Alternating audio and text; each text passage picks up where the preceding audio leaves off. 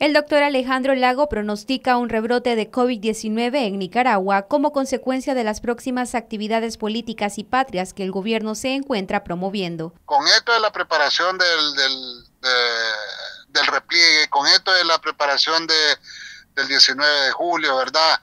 Yo, yo, le, yo clamaría, ¿verdad? Y me uniría a las voces de que el gobierno si va a hacer su actividad partidaria, porque esto lo han convertido en una actividad nacional obligatoria porque ellos han querido. Bueno, estas son cuestiones partidarias que no tienen por qué involucrar a toda la población sabiendo de que al estar yo junto a una persona a menos de un metro estoy corriendo el riesgo de contaminarme del coronavirus porque estamos en tiempos de pandemia internacionalmente y de epidemia localmente.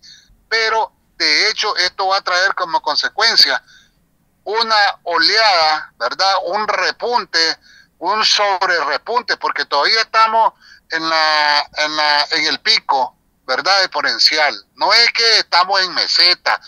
Tal vez se ha puesto la curva en ascenso lenta porque la gente se ha quedado recluida en sus casas curando a sus enfermos. El doctor Lagos también dijo que el país está siendo golpeado económicamente aún más debido al gasto que incurre cada paciente para tratarse desde casa debido a la desconfianza hacia el mismo Ministerio de Salud. Eh, el tratamiento básico, básico, ¿verdad?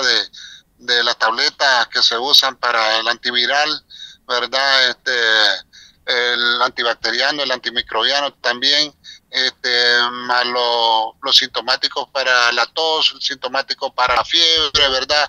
Sintomático para dolores musculares, eso ronda entre los 1500 a 1700 Córdoba.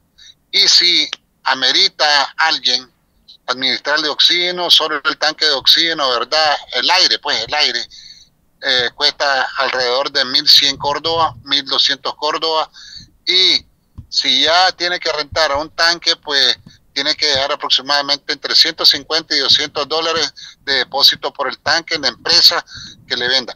No sale barato, la verdad, no sale barato enfermarse y si es cierto que se atienden en su casa, quiero decirle que los brotes familiares están a la orden del día. Para Noticias 12, Gabriela Solórzano.